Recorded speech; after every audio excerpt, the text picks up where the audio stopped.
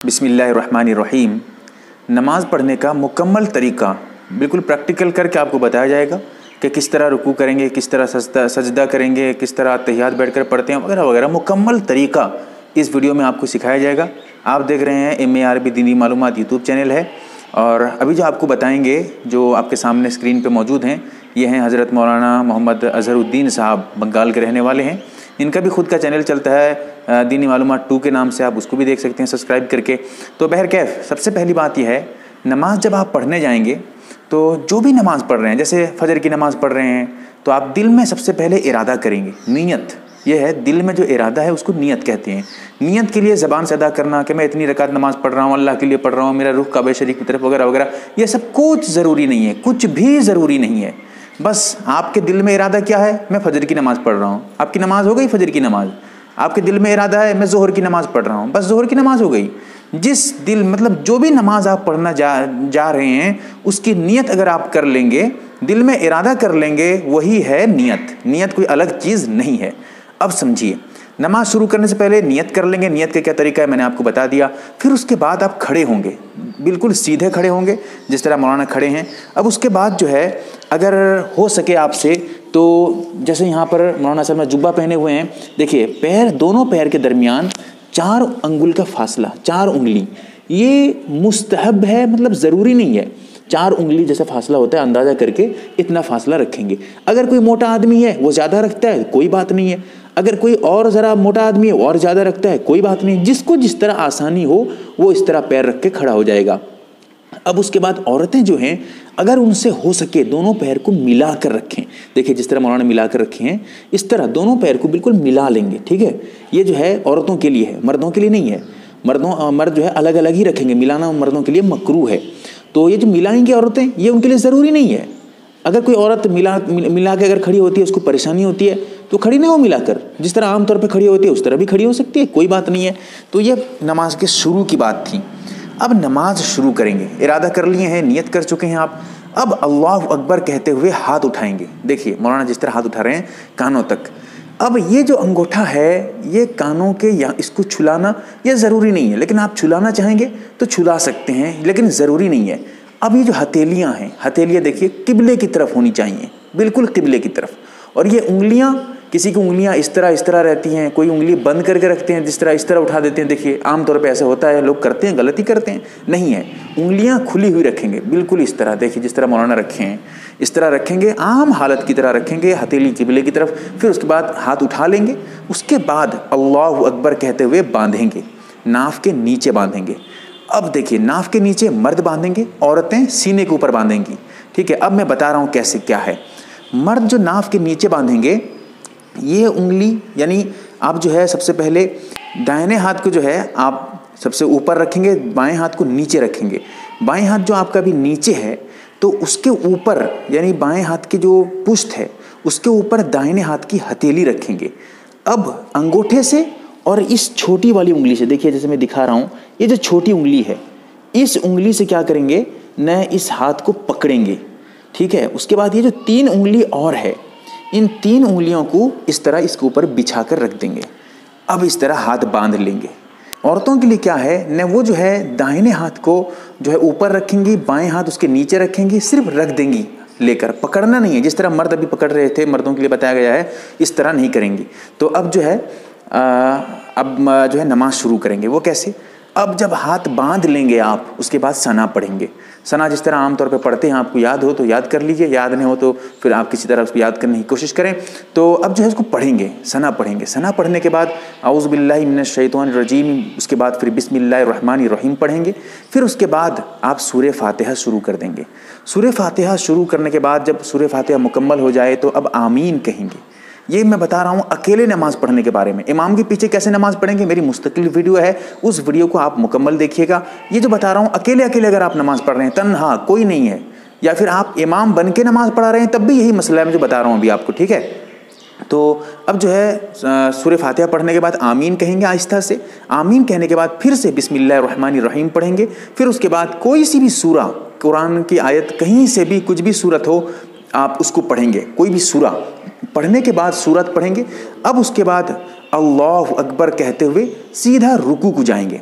देखिए, अब रुकू का क्या तरीका है, मौलाना भी आपको मुकम्मल अच्छी तरह से बताएँगे। देखिए, तरीका जो है रुकू करने का, वो इस तरह से है कि ये जो सुरीन है, पीठ ये बिल्कुल बराबर हो, बिल्कुल बराबर। देखिए, मौलाना किस तरह बिल्कुल रखे हुए हैं। फिर उसके बाद ये जो हाथ हैं, हाथ बिल्कुल सीधे हों। ये मर्दों के लिए बता रहा हूँ, औरतों के लिए बिल्कुल अलग है, वो मैं बाद में बताऊँगा आपको, ठीक है? तो ये जो है, हाथ बिल्कुल सीधा, देखिए बिल्कुल हाथ सीधा है, कोई टेढ़ा नहीं है, कुछ हजरात टेढ़ा कर देते हैं, मोड़ देते हैं कहुनी निकाल देते हैं, इस तरह मुनासिब नहीं है, ये खिलाफ सुन्नत है, हाथ बिल्कुल सीधा रखेंगे। अब यहाँ जो है, इसको उंगलियों को बिल्कुल अलग अलग रखेंगे, जिस तरह देखिए मौलाना रखे हुए हैं, और यहाँ जो है, इस तरह करके हाथ रख देंगे। अब रुकू से जब रुकू मुकम्मल कर लेंगे, रुकू में जाने के बाद आप तीन मरतबा सुबहाना रबियल अज़ीम पढ़ेंगे। ठीक है? अब देखिए, कुछ हजरात क्या करते हैं, मौलाना खुद दिखा रहे हैं कि कुछ आदमी जो है, क्या करते हैं, ना देखिए, किस तरह टेढ़ा है, इस तरह नमाज़ पढ़ते हैं। यानी जो है, ज़रा से झुक जाते हैं, अच्छी तरह से झुकते नहीं हैं और इसको टेढ़ा कर देते हैं। ये भी टेढ़ा नहीं हो, ये भी बिल्कुल सीधा हो, जिस तरह मौलाना देखिए, करके दिखा रहे हैं, पहली मरतबा किए हुए थे। जो है, आप पढ़ेंगे, सुबहाना रबी अज़ीम। तीन मरतबा। फिर उसके बाद जो है, आप समी अल्लाहमन हमीदा कहते हुए खड़े हो जाएँगे। खड़े होने के बाद रब्बना लकल हमद कहेंगे। अब जो है, आप अच्छी तरह जब खड़े हो जाएँगे रुकू के बाद, अब आप सजदे को जाएँगे। देखिए, सजदे में जो जाएँगे, सबसे पहले अपना घुटना रखेंगे। देखिए, ये है घुटना। घुटना सबसे पहले रखेंगे ज़मीन पे। फिर उसके बाद अपना हाथ रखेंगे। देखिए, जिस तरह मौलाना रख रहे हैं। हाथ रखने के बाद, अब जो है, उसके बाद हाथ जब रख लेंगे, उसके बाद पहले हाथ रखता है देखिए, बिल्कुल मौलाना जो बता रहे हैं, बहुत अच्छी बात बता रहे हैं कि बहुत सारे हजरात क्या करते हैं, जब सजदे को आते हैं खड़े होके तो सबसे पहले हाथ रखते हैं। देखिए, जिस तरह मौलाना भी बता रहे हैं, हाथ पहले रखते हैं, फिर घुटना रखते हैं। ये खिलाफ सुन्नत है। हाँ अगर कोई बूढ़ा आदमी हो, या फिर कोई बहुत वज़नदार आदमी हो, या फिर जो है कोई मतलब मजबूरी हो जिसकी, वो इस तरह कर सकता है। बिला ज़रूरत अगर इस तरह आदमी करेगा, कोई मजबूरी न हो तो फिर उसकी नमाज़ मकरू होगी, क्योंकि खिलाफ सुन्नत है इस तरह करना। तो अब जो है, हाथ रखेंगे। देखिए, जिस तरह मौलाना बताएँगे, अभी आपको बिल्कुल अच्छी तरह से, हाथ रखने के बाद सबसे पहले फिर चेहरे में देखेंगे। चेहरे में सबसे पहले आप नाक रखेंगे, जिस तरह मौलाना रख रहे हैं। नाक ज़मीन पे लगाएँगे, फिर पेशानी लगाएँगे। अब जो है आप सजदे पे आए हैं। अब सजदे पे क्या करना है? ज़रा मैं आपको बता देता हूँ। ज़रा से देखिए। ये जो हथेली है, इसको बिल्कुल बिछा कर रखेंगे। ऐसा ना हो कि हाथ आप इस तरह रखते हैं। इस तरह नहीं, हाथ को बिल्कुल इस तरह बिछा के रखना है। और ये उंगलियों का जो रुख है, वो बिल्कुल किबले की तरफ़ हों। ठीक है? और दोनों ये उंगली सब मिलकर भी हों। और उसके साथ साथ दोनों हाथ के दरमियान ज़्यादा फासला, ज़्यादा जो है फासला भी ना हो और बिल्कुल मिलकर भी ना हो। ज़्यादा फासला कैसे? एक हाथ यहाँ रख रहा है, दूसरा हाथ वहाँ रख रहा है, देखिए, ऐसे भी ना हो। और ऐसा भी ना हो कि बिल्कुल हाथ को मिला दे, दोनों हाथ को मिला दे, साइड में और यहाँ इस तरह सजदा करे। ये भी गलत तरीका है। ये सब बहुत ज़रूरी ज़रूरी मसाइल आपको बता रहा हूँ। अब जब सजदे को आ जाएँगे, अब पैर की चीज़ जो है, पैर में क्या कैसे करना है, वो मैं आपको दिखा रहा हूँ। देखिए, पैर कैसे रखने हैं नमाज़ में, वो बता रहा हूँ। पैर जो है खड़ा करके रखेंगे, जैसे मौलाना रखे हैं, बिल्कुल। अब उंगलियों को जो है इस तरह मोड़ कर किबले की तरफ़ कर देंगे। देखिए, ये है। इस तरह कुछ आदमी क्या करते हैं ना, सीधा इस तरह रख देते हैं या फिर इस तरह रख देते हैं? नहीं, आप उंगलियों को मोड़ कर किबले की तरफ़ कर देंगे, ठीक है? अब एक चीज़ यहाँ पर।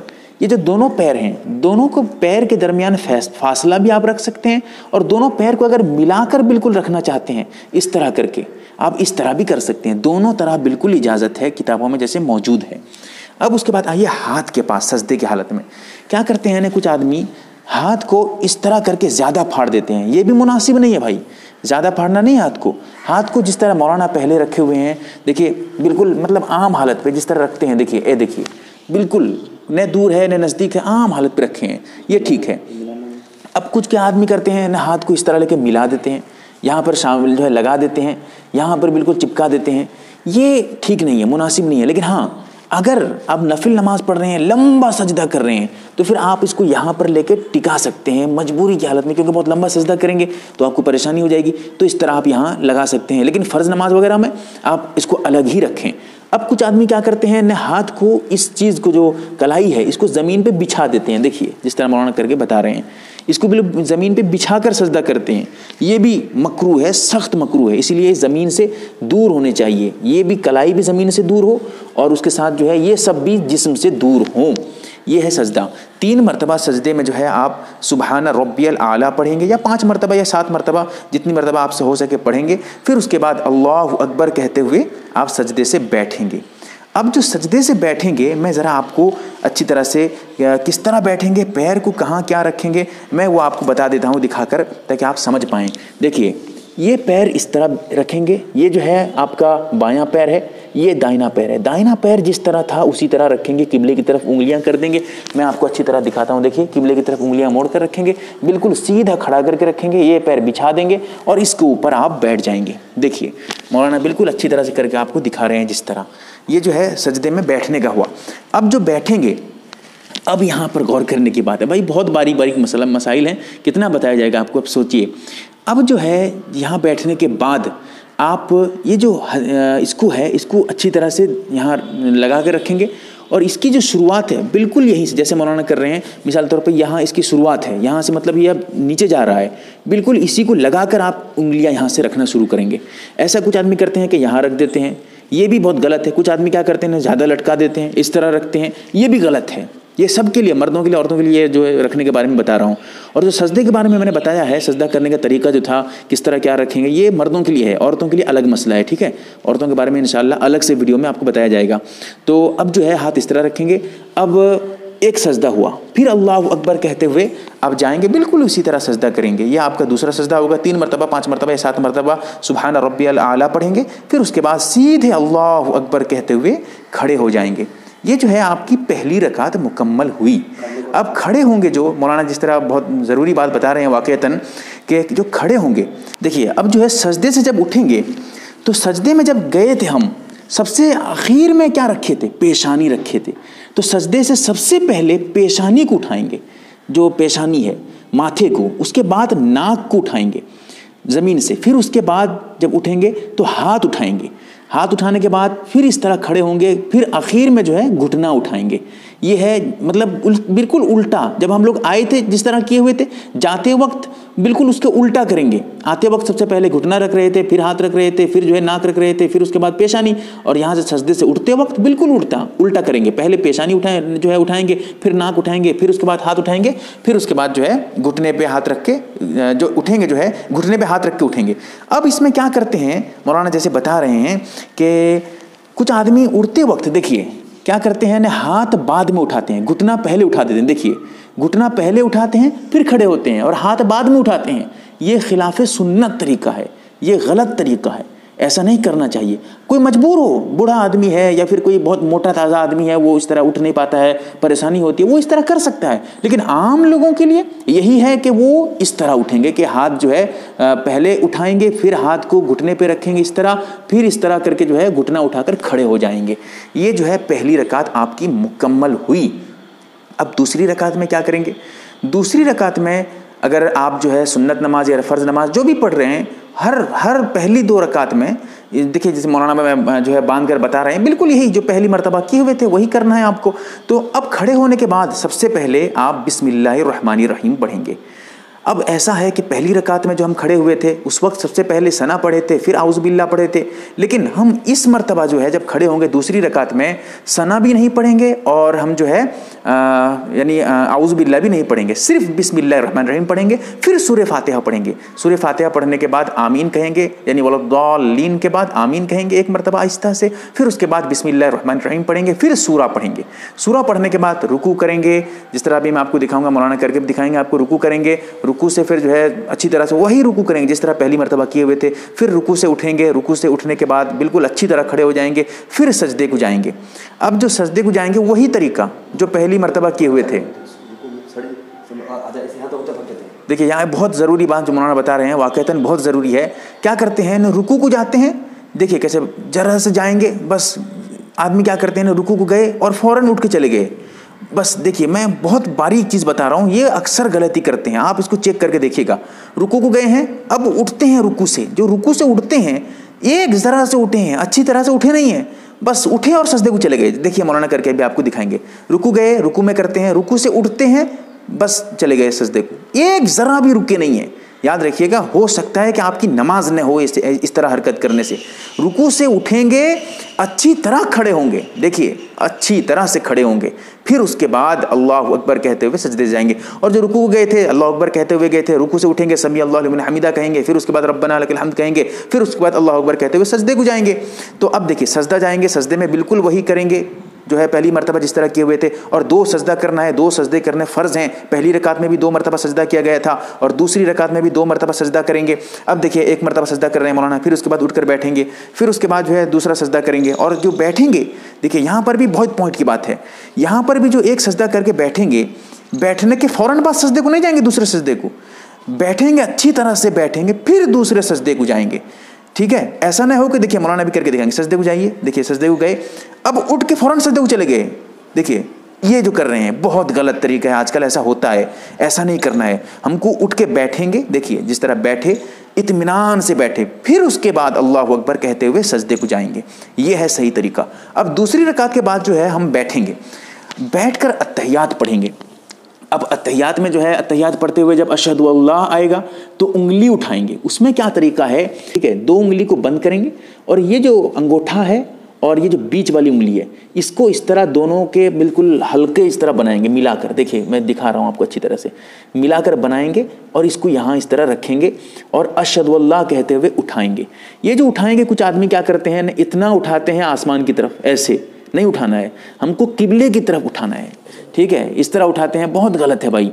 उठाना क्या है? हमको उंगली उठानी है, शहादत की उंगली, वो भी किबले की तरफ़ उठाएँगे। और उठाकर अशद के वक्त उठाएँगे। अशद इल्लल्लाह, जैसे इल्लल्लाह कहेंगे, फ़ौरन गिरा देंगे।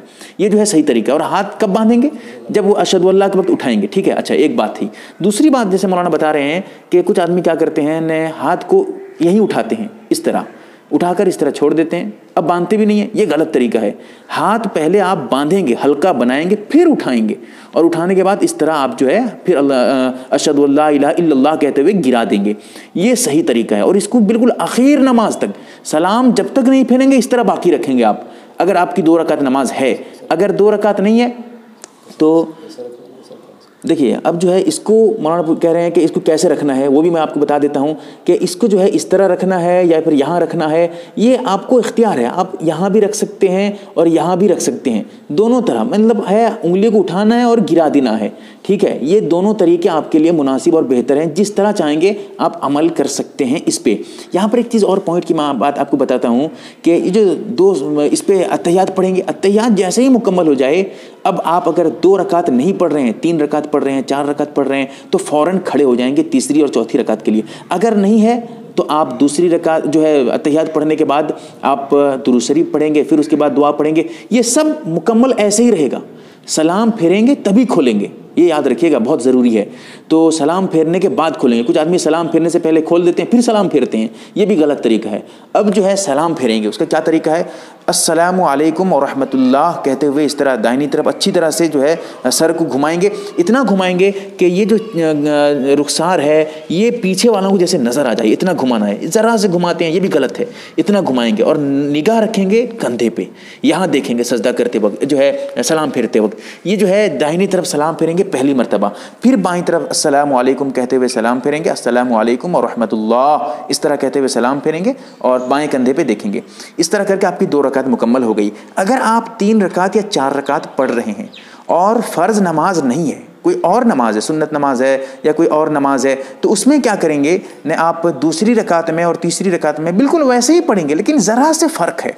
वो ये है कि दूसरी और तीसरी रकात में भी आपको बिल्कुल वही काम करने हैं। सूरा भी पढ़ना है सूरा भी मिलाना है, यानी सूर्य फातह भी पढ़ेंगे और सूरा भी मिलाएँगे। अगर फ़र्ज़ नमाज़ नहीं है फ़र्ज़ नमाज़ के अलावा कोई भी नमाज़ हो, चाहे वो नफिल हो या वाजिब हो या सुन्नत हो या नफिल जो भी हो, सब में वही करेंगे। लेकिन फ़र्ज़ नमाज़ अगर है आपकी तो फ़र्ज़ नमाज़ में आप दूसरी रकात के बाद जब खड़े होंगे, तीसरी रकात के लिए या चार रकात वाली नमाज़ पढ़ रहे हैं तो चौथी रकात के लिए जो खड़े होंगे आप, उसमें ये करेंगे कि आप दूसरी और तीसरी रकात में बिल्कुल वही काम करेंगे, लेकिन सूर्य फातिहा पढ़ने के बाद कोई सूरा नहीं पढ़ेंगे। सूर्य फातिहा पढ़ने के बाद आमीन कहेंगे, अलहमद शरीफ के बाद आमीन कहेंगे और अल्लाह अकबर कहते हुए सीधा रुकू में चले जाएँगे। ये नमाज़ का आपका मुकम्मल तरीका रहा और इसमें अगर कोई शक और सुबह हो आपको या कोई और उलझान हो तो आप जो है बिल्कुल रबता कर सकते हैं। नंबर वगैरह सब कुछ दिया हुआ है। जो भी और सवाल हों आप इस पर पूछ सकते हैं। अल्लाह से दुआ करें कि अल्लाह ताला हमें सही तरीके से अमल करने की तोफ़ी अता फ़रमाए, सही से नमाज़ पढ़ने की तोफ़ी अता फ़रमाए।